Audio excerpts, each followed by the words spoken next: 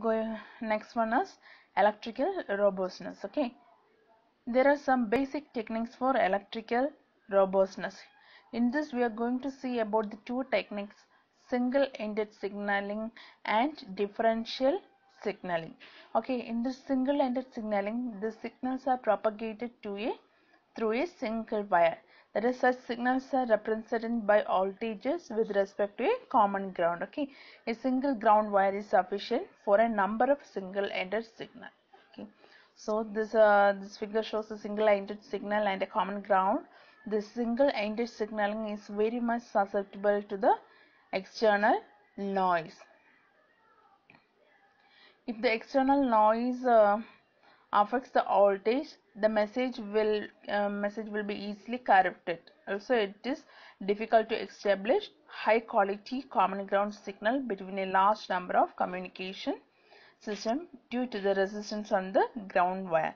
The second one is the differential signaling. In this differential signaling um, this uh, it requires two wires for every signal and it also requires negative voltages okay? So for each signal we requires two signal two wires for every signal. For one signal we need two wires. So um, based on the number of signals it depends on the wire okay?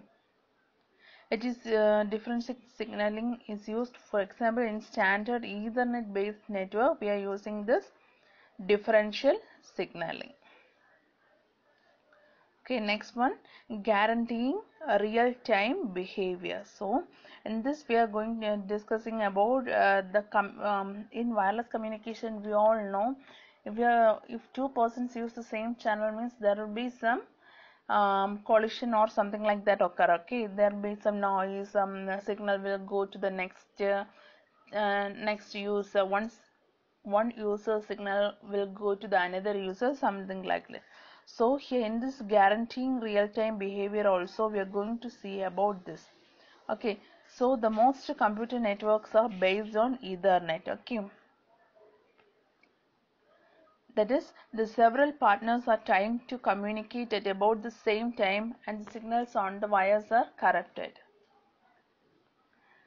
Whenever this occur the partners have to stop communication and wait for some time and then retry the waiting time is chosen at random so that it is not very likely that the next attempt to the communicate result in other collision. That is uh, we all know that is uh, if two users starts to communicate at the same uh, at same time means it will suppose if we are there is a group of people and two of them start to communicate means uh, we didn't understand what they are talking right? So one person must wait and after finishing the first person the next person have to talk. That is the same method in this uh, in this guaranteeing real time behavior. So this problems can be solved with carrier sense multiplexer collision avoidance okay? First uh, using CSMA CD we will detect the collision and using CSMA CA we will avoid this collision these are the various example in this communication thing. Just uh, you have to go through this. That is in sensors actuators okay then field bus then uh, time triggered protocol FlexRay map and eib that is european installation bus. That is in sensors or actuators or bus.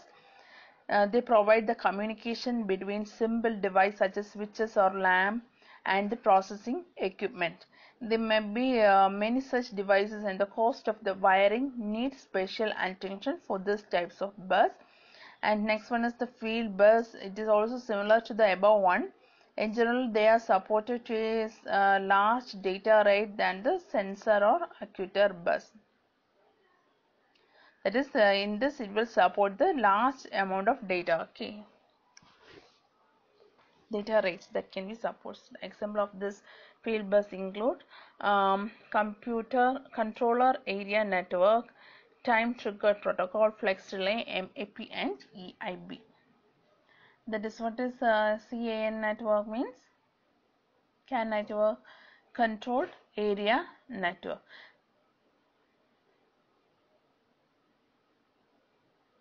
It has various properties differential signaling with twisted pairs attribution uh, using CSMA CA throughput between 10 kilobits per second and 1 megabits per second low and high proximity signal maximum latency of 134 microseconds for high proximity signals coding of signals similar to that of the serial lines of PCs modification for differential signaling. Then in the time triggered protocol that is just used for fault tolerant safety system like airbags in car. Also flex relay is a TDMA protocol which has been developed by the FlexRay consortium. Okay next in map it is a bus designed for car factories. And last one EIB it is just it is a bus designed for the smart home. And in the wireless communication it is becoming more popular but the communication bandwidth is uh, becoming very becoming a scarce resource as a result of the frequency resort for the third generation. Here also bluetooth is the standard for connecting devices such as mobile phone etc into